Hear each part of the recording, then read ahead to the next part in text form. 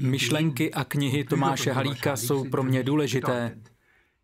Jak víme, byl členem výzkumného týmu přelomové studie provedené po pádu berlínské zdi.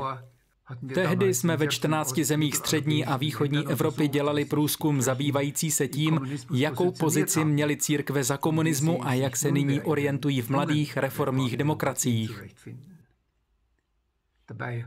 Samozřejmě důležitou roli přitom se hrály také zkušenosti ateizovaného Československa.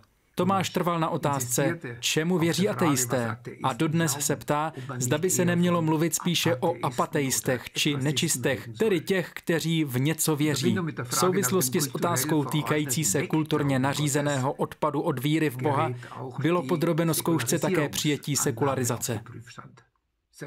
Jeho knihy mají u nás ohlas a jsou také pro mnoho lidí užitečné a inspirující. Tomáš se mezi tím stal mezinárodně žádaným přednášejícím, a to i v německy mluvících zemích. Zvou ho biskupové stejně jako církevní vzdělávací instituce. Kromě toho má v nakladatelství Herder renomovaného a velmi aktivního reklamního partnera. Tomášovy knihy mají dle mého názoru dokonce ještě větší účinek než jeho mnohé přednášky. Dvě jeho poselství mají ohlas u mnoha čtenářů a posluchačů a dodávají jim odvahu být křesťany a křesťankami také v dnešních časech.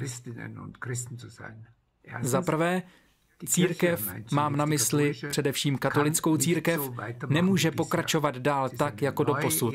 Vstoupila do nové éry. Zejména v Evropě a v Severní Americe se po ní požaduje zásadní změna. A za druhé, pro budoucnost nepostačí změnit pouze struktury církve. Ve středu pozornosti musí být Bůh a jeho zaujetí pro svět.